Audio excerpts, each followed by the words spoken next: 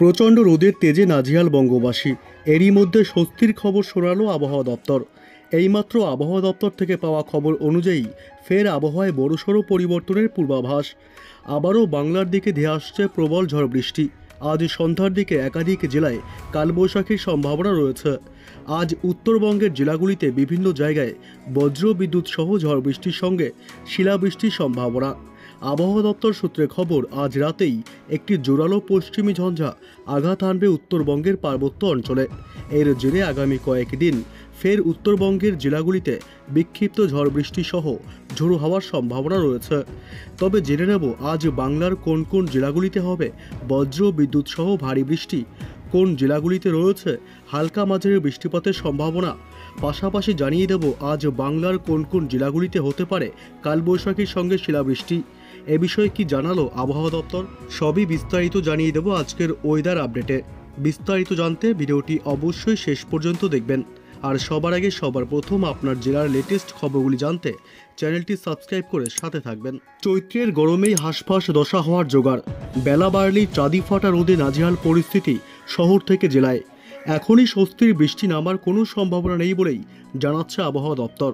আবহাওয়া দপ্তর সূত্রে খবর, আপাতত আগামী পয়লা বৈশাখ পর্যন্ত তাপমাত্রা একটু একটু করে বাড়তেই থাকবে। পশ্চিমের জেলাগুলিতে তীব্র গরম অনুভূত হবে। চৈত্র শেষের দাবদাহে পুড়ছে বঙ্গ।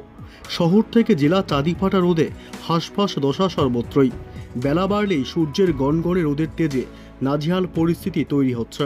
আবহাওয়া দপ্তর সূত্রে খবর, দক্ষিণবঙ্গের জেলাগুলিতে আগামী কয়েক দিনে তাপমাত্রা তিন থেকে চার ডিগ্রি পর্যন্ত বেড়ে যেতে পারে। বিশেষ করে রাজ্যের পশ্চিমাঞ্চলের জেলাগুলিতে তাপমাত্রা বেশ খানিকটা বেড়ে গিয়ে অসহনীয় পরিস্থিতি তৈরির আশঙ্কা প্রবল। পশ্চিমের একাধিক জেলায় আগামী সপ্তাহের শুরু থেকেই লু বওয়ার আশঙ্কা করা হচ্ছে। শহর কলকাতাতেও চৈত্র শেষের দাবদাহ ভালোমতো টের পাওয়া যাচ্ছে। এখনই এই পরিস্থিতির হাত থেকে নিস্তার মেলার সম্ভাবনা নেই। বরং আগামী কয়েক দিনে কলকাতার তাপমাত্রা আরও খানিকটা বেড়ে যেতে পারে। আর্দ্রতা জনিত অস্বস্তিতে নাজেহাল পরিস্থিতি তৈরি হতে পারে।